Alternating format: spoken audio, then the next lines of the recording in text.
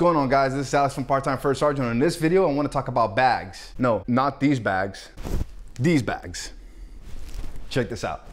Now on an active duty post, this is really not a big issue because junior COs are policing themselves up. But in the National Guard, it's a little bit of an issue because soldiers are transitioning from the civilian life over to the military side. Now, according to 670-1, bags need to be either black or the same pattern as the operational clothes that you're wearing. You shouldn't have an issue with the pattern if the bags that you're wearing are issue bags, such as an assault pack or rucksack. So if you have an UCP pattern bag but you are now wearing the OCP uniform, that's fine. You can mix and match those patterns together when it comes to wearing a bag. Now, if you decide to wear a civilian bag as part of a uniform, make sure that they're conservative looking and that you cannot see the contents inside of the bag, which means that the bags cannot be mesh or see-through. Now, when it comes to backpacks, the DA PAM specifically clarifies that you can either wear the bag in one shoulder both shoulders, but you cannot wear bags where the straps go across your body. Now, when it comes to a civilian gym bag, you may carry it by the handle